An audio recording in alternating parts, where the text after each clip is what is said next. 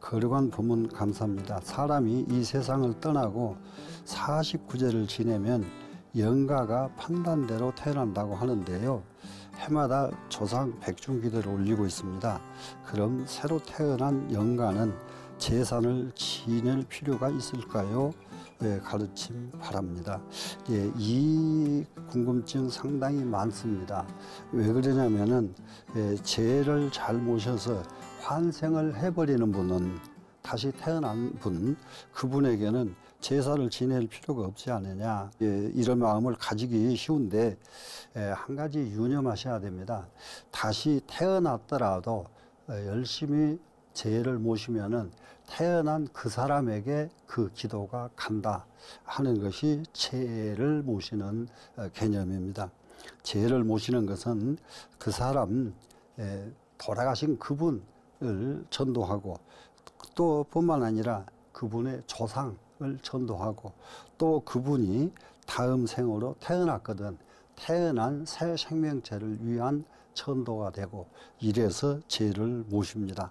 그러니 예, 열심히 죄 모시는 마음을 조금 더 다른 생각을 해서 꼭 죄를 지내서 무슨 돌아가신 분에게 무슨 영향이 있겠는가 이런 궁금증 갖지 마시고 어, 마시길 바랍니다.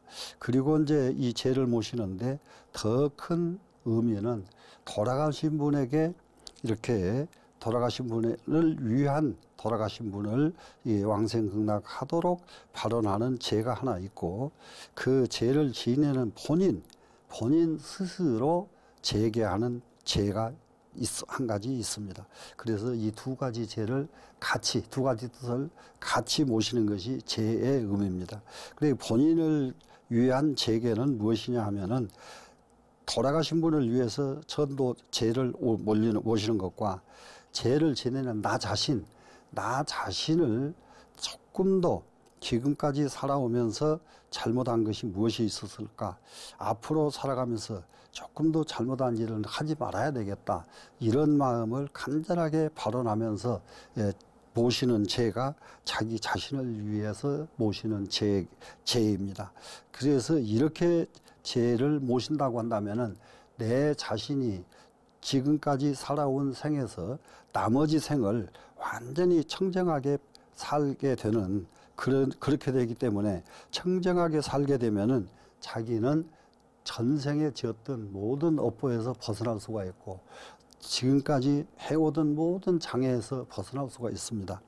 그래서 돌아가신 분의 왕생극락을 발언하는 죄가 하나 있고 죄를 지내는 나 자신의 모든 업장에서 벗어나게 하는 죄가 하나 있다.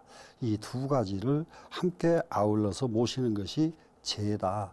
이런 마음으로 열심히 예, 뭐, 예, 죄를 모셔서 예, 조금 더 어, 사람이 살아가는데 잘못 되지 않고 나쁜 과보에 떨어지 않게 되기를 발언을 합니다. 129번 불자님 꼭 성취하시길 빌겠습니다.